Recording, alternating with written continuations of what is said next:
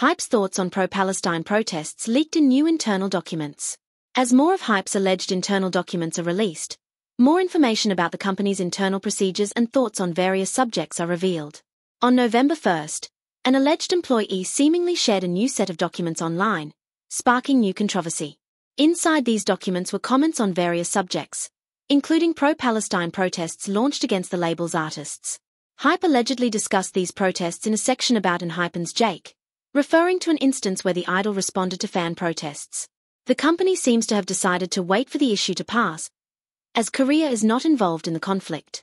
Recently, there has been an intensifying political intervention campaign led by overseas fandoms around brands like Starbucks and McDonald's in relation to the Israel issue.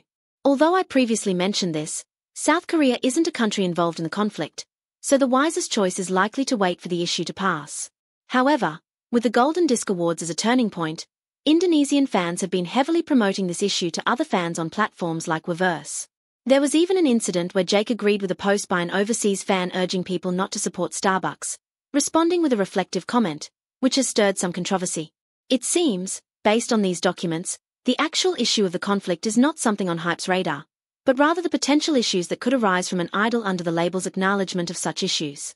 Netizens have harshly criticized HYBE over the dismissive attitude in its stance.